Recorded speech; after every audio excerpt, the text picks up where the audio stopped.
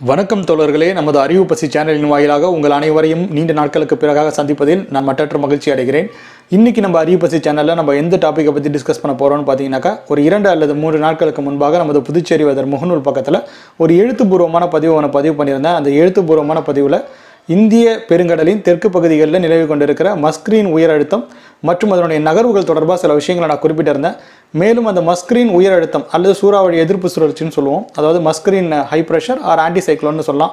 அந்த மஸ்கிரீன் உயர் அழுத்தத்தின் சுழற்சி மற்றும் நகர்வுகள்ங்கிறது நம்ம தென்மேற்கு பருவமழைக்கு எந்த அளவுக்கு முக்கியம் அப்படிங்கிற தொடர்பாகவும் அதில் சில விஷயங்களை நான் வந்து பதிவு பண்ணியிருந்தேன். அந்த பதிவை நான் பதிவு பண்ண பிறகு என்னை நேரடியாக நிறைய பேர் தொடர்பு கொண்டு இது தொடர்பாக நீங்கள் வந்து ஒரு காணொலியை யூடியூப் பக்கத்தில் நீங்கள் பதிவு பண்ணுங்க விளக்கமா அப்படிங்கிற மாதிரி கேட்டிருந்தீங்க. உங்களுக்காக தான் இந்த காணொலி வாங்க நம்ம காணொலிக்குள்ளே போகலாம். இப்போ நம்ம இதை பூமியினுடைய வரைபடம்னு எடுத்துக்கலாம். இந்த பூஜ்ஜியம் டிகிரி இருக்குது இல்லையா? இந்த லைனை தான் நம்ம ஈக்குவேட்டர்னு சொல்லுவோம். தமிழில் நில நடுக்கோடுன்னு சொல்லுவோம். இந்த நில நடுக்கோடுக்கு ஈக்குவேட்டருக்கு மேலே இருக்கக்கூடிய பகுதிகளை நம்ம ஆங்கிலத்தில் நார்தன் ஹெமிஸ்பியர்னு சொல்லுவோம். தமிழில் பூமியினுடைய வடக்கு அரைக்கோளம்னு சொல்லலாம். அதே போல் இந்த ஜீரோ டிகிரிக்கு அதாவது ஈக்குவேட்டருக்கு கீழே இருக்கக்கூடிய பகுதிகளை நம்ம சதன் ஹெமிஸ்பியர்னு சொல்லுவோம். தமிழில் பூமியினுடைய தெற்கு அரைக்கோளம்னு சொல்லலாம். இப்போ இந்த நார்தன் அண்ட் சதன் ஹெமிஸ்பியர் இவை இரண்டிலையுமே பார்த்தீங்கன்னாக்கா பல்வேறு பகுதிகளிலும் ஹை அண்ட் லோ ப்ரெஷர்ஸ் இருக்கிறத நீங்கள் பார்க்கலாம். அதாவது அழுத்த வேறுபாடுகள் பல்வேறு பகுதிகளிலும் நிலவிக்கிட்டு இருக்கிறத நீங்களே இந்த படத்தின் வாயிலாக காணலாம்.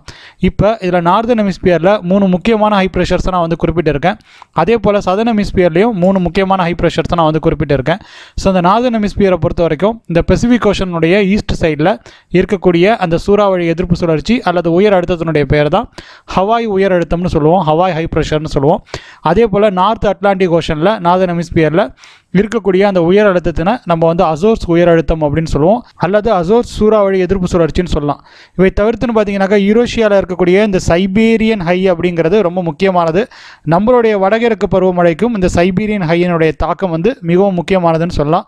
நார்தன் ஹெமிஸ்பியரனுடைய வின்டரில் நம்மளுடைய வடகிழக்கு பருவமழை எப்படி இருக்கணுங்கிறத நிர்ணயம் செய்கிறதுல இந்த சைபீரியன் ஹைக்கு முக்கியமான பங்கு உண்டு. ஸோ சைபீரியன் ஹைக்கும் வடகிழக்கு பருவமழைக்கும் இடையேயான அந்த தொடர்பை நான் இன்னொரு காணொலியில் உங்களுக்கு விரிவாக விளக்குறேன். ஸோ இப்போதைய தலைப்புங்கிறது வந்து மஸ்கிரீன் உயர் அழுத்தத்திற்கும் தென்மேற்கு பருவமழைக்கும் இடையேயான தொடர்பு தான் ஸோ நம்ம அதுக்கு வரலாம். அதன்படி சதன் ஹெமிஸ்பியரில் பார்த்தீங்கன்னாக்கா மூன்று உயர் அழுத்தங்கள் இருக்குது. மூன்று வெவ்வேறு பகுதிகளில் மூன்று கடல் பகுதிகள்னு சொல்லலாம். மூன்று வெவ்வேறு கடல் பகுதிகள்னு கூட சொல்லலாம். இப்போ சதன் இந்தியன் ஓஷனை பொறுத்த வரைக்கும் நம்மளுடைய மேஸ்கிரீன் ஹை இருக்குது. மேஸ்கிரீன் உயர் அழுத்தம். அதே போல் பார்த்தீங்கன்னாக்கா சதன் அட்லாண்டிக் ஓஷனில் ஹெலீனா ஹை இருக்குது. அதே போல் சவுத் பெசிஃபிக் ஓஷனில் சவுத் பெசிஃபிக் ஹை இருக்குது.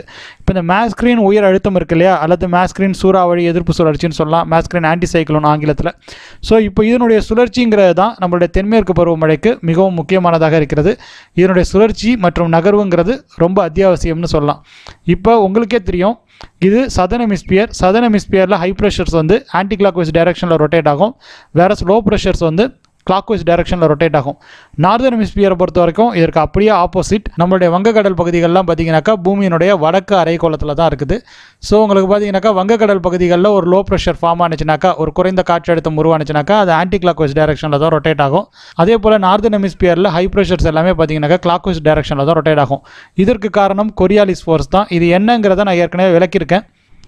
இந்த மேஸ்கிரீன் உயிரழுத்தம் அழுத்தம் ஆன்டி கிளாக் வைஸ் டைரக்ஷனில் அதாவது இந்த சூறாவளி எதிர்ப்பு சுழற்சியானது ஆன்டி கிளாக் வைஸ் டைரக்ஷனில் ரொட்டேட் ஆகும்போது அதனுடைய காற்றுங்கிறது பார்த்திங்கனாக்கா இந்த ஆப்பிரிக்க மையப்பகுதிகளில் இருக்கிற இருக்கக்கூடிய லோ ப்ரெஷரை நோக்கி தான் வந்து நகரும். எப்போவுமே பார்த்தீங்கன்னாக்கா ஹை ப்ரெஷரில் இருக்கக்கூடிய காற்றுங்கிறது வந்து லோ ப்ரெஷரை நோக்கி தான் நகரும். அதாவது அதிக அழுத்தத்திலிருந்து காற்று குறைந்த அழுத்தம் உள்ள பகுதிகளை நோக்கி தான் நகரும். அவ்வாறு தான் இப்பயும் பார்த்தீங்கன்னாக்கா நகர்ந்துக்கிட்டு இருக்குது. இப்போ சதன் ஹெமிஸ்பியரில் இது நகர்ற திசையை நம்ம வந்து பார்க்கும்பொழுது இது வந்து வடமேற்கு திசையில் நகர்ந்து கொண்டு இருக்கிறத பார்க்க முடியுது இந்த காற்று. இப்போ ஒன்ஸ் இது ஈக்குவேட்டரை அடைஞ்சி அதாவது இது பூமியினுடைய நில நடுக்கோட்டை அடைந்து அதன் பிறகு அது நார்தன் ஹெமிஸ்பியரில் ட்ராவல் பண்ணும்போது அது எப்படி ட்ராவல் பண்ணணும்னு பார்த்தீங்கன்னாக்கா இந்த டேரெக்ஷனுக்கு அப்படியே ஆப்போசிட் டேரெக்ஷனில் தான் அது வந்து ட்ராவல் பண்ணும். ஸோ இது எதனாலன்னு கேட்டிங்கனாக்கா பூமியினுடைய கொரியாலிஸ் ஃபோர்ஸ்னு தான் சொல்லணும். கொரியாலிஸ் எஃபெக்ட் மற்றும் கொரியாலிஸ் ஃபோர்ஸ் அதாவது கொரியாலிஸ் விசை தொடர்பான தகவல்களை நான் இதற்கு முன்பாகவே ஒரு காணொலி வடிவில் நமது அறிவு பசி சேனலில் நான் வந்து பதிவு பண்ணியிருக்கேன். அதனுடைய லிங்க்கு இந்த சேனலில் நான் காடாக போடுறேன். நீங்கள் போய் பாருங்கள் பூமியினுடைய கொரியாலிஸ் ஃபோர்ஸின் காரணமாக இதனுடைய காற்றின் திசை வந்து மாறுது. தென்மேற்கு திசையாக மாறி அரபிக்கடலினுடைய ஈரப்பதத்தை எடுத்துக்கொண்டு அது இந்தியாவின் மேற்கு மாநிலங்களின் மேற்கு பகுதிகளை அது வந்து அடைய முற்படுகிறது. ஸோ இதன் காரணமாக தான் நமக்கு வந்து தென்மேற்கு பருவமழை இந்தியாவில் வந்து தொடங்குது. இந்த காற்று நம்ம வந்து சோமாலி ஜெட்டுன்னு சொல்லுவோம். அதாவது சோமாலிய கடல் பகுதிகளிலேருந்து வேகமாக இது வந்து பூமியினுடைய வடக்கு அரைகோளத்தில் நம்ம இந்தியாவினுடைய நிலப்பகுதி மேற்கு நிலப்பகுதி அடைகிறதுனால இதை நம்ம வந்து சோமாலி ஜெட்டுன்னு வழங்குறோம். இந்த ஈரப்பதமான காற்று இந்தியாவினுடைய மேற்கு மாநிலங்களில் இருக்கக்கூடிய அந்த மேற்கு தொடர்ச்சி மலைப்பகுதிகளை அடையும் பொழுது அந்த பகுதிகளில் அது வந்து நல்ல மழைப்பொழிவை ஏற்படுத்தும். அதே போல் இந்த மஸ்கரின் உயிரழுத்த காற்றின் இன்னொரு பகுதியானது வங்கக்கடல் வழியாக ஊடுருவி இந்தியாவின் வட மாநிலங்களை அடையும். ஸோ அதனால தான் பார்த்தீங்கன்னாக்கா உங்களுக்கு மிட் மேலேயே பார்த்தீங்கன்னாக்கா south west monsoon Andaman Nicobar தீவுகளெல்லாம் வந்து ஆக்டிவ் ஆகிடும் ஸோ அதுக்கு காரணம் என்ன அப்படின்னு பார்த்தீங்கன்னாக்கா அந்தமான் நிக்கோபார் தீவுகளெல்லாம் இப்போ உங்களுக்கு மிட் மேலேயே பார்த்தீங்கன்னாக்கா இன்டர் டிராபிக்கல் கன்வர்ஜன் ஜோன் வந்து ரொம்ப ஆக்டிவாக தான் இருக்கும். ஸோ இந்த தென்மேற்கு திசை காற்றானது இன்டர் டிராபிக்கல் கன்வர்ஜன் ஜோனோட கோயின்சைட் ஆகும்போது உங்களுக்கு வந்து மான்சூன் ஆக்சிஸ் வந்து ஆக்டிவ் ஆகுது.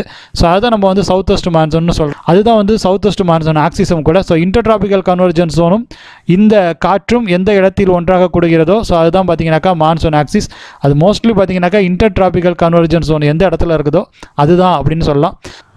ஸோ உங்களுக்கு ஒரு சந்தேகம் ஒன்று வரலாம். இந்த தென்மேற்கு காற்று ஏன் வட இந்தியாவை நோக்கி நகர்ந்து செல்கிறது? அப்படிங்கிற மாதிரி உங்களுக்கு ஒரு கேள்வி ஒன்று எழலாம். இதற்கு காரணமாக இன்டர் டிராபிக்கல் கன்வர்ஜன் ஜோன் தான்.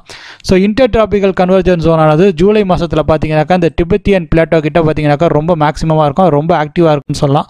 ஸோ அந்த நேரத்தில் பார்த்தீங்கன்னாக்கா அந்த டிபெட்டியன் பிளாட்டோ கிட்ட பார்த்தீங்கன்னாக்கா டெம்பரேச்சர் ரொம்ப அதிகமாக இருக்கும். அந்த இடத்துல ஒரு லோ ப்ரெஷர் மாதிரி இருக்கும்.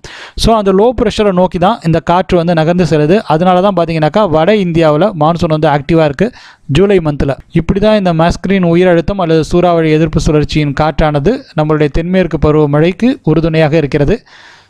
அடுத்து வரக்கூடிய நாட்களில் வேறொரு இன்ட்ரெஸ்டிங்கான டாப்பிக்கோட நான் உங்களை வந்து சந்திக்கிறேன். நமது அறிவு பசி யூடியூப் சேனலின் வாயிலாக. அது வரைக்கும் உங்ககிட்ட இருந்து விடைபெற்றுக் கொள்வது உங்கள் இமானுவேல் நன்றி வணக்கம்.